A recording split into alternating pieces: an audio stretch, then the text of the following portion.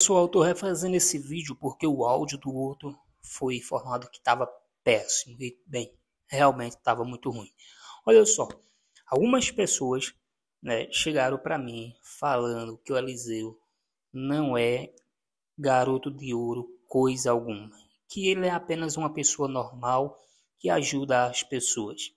Mas bem, eu, JM, como sempre, o defensor do Eliseu Silva TV, falei para essas pessoas, olha, o Eliseu, ele é sim um garoto de ouro, porque ele faz o que nem os políticos fazem, né?